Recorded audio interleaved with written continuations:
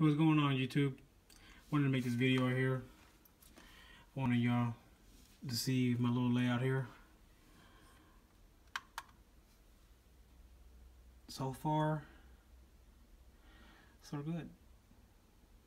Got my rock island my 38 my 45 I haven't laid out all my guns yet but this is so far a good start. So far Oh, mags. I wanted to make a, another review too of these lights here that I just got. They weren't the ones that I ordered. The ones that I ordered were from Costco's. They were from Costco, but I don't know. They must have got mixed up with the order or whatever. But the lights come with the remote. These are right here.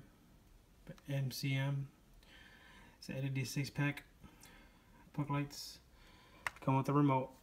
I'll show y'all right now. I put it right here, a little hidden right here. Got a little mount. So you can dim them. You can set them for 30 minutes, 5 minutes, off, dim, higher. It's pretty good. I like it. I mean, they, weren't the ones that I ordered, but uh, oh well. I got my AR clip here. I got my one of my holsters here, holster. Got some stuff here. I got some stuff here uh, you ain't supposed to see. got some good stuff in there. But yeah, guys, I mean, it's a good safe here. I bought, I got it from uh, Bass Pro Shop. Pretty good stuff um, there's a redhead. So, yeah, I just picked it up. Pretty cool. But uh, what do you see?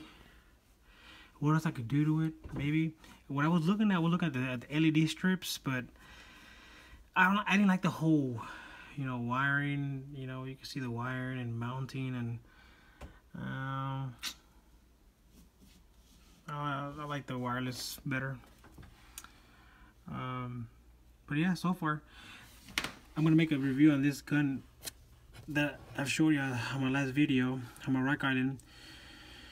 I got this guy here, local. He's known to work. He specializes on only on 1911s, and he's gonna polish it.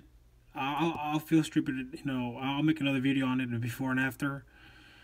But I'll explain and give you better details on it, on what he's gonna do to it and what he has done to it. You know, when I get it back, he's supposed to be having it ready. He's supposed to. I, I'm supposed to have it back like in maybe three to four days, but I'll post a before and after video on it. But yeah, so far. Um.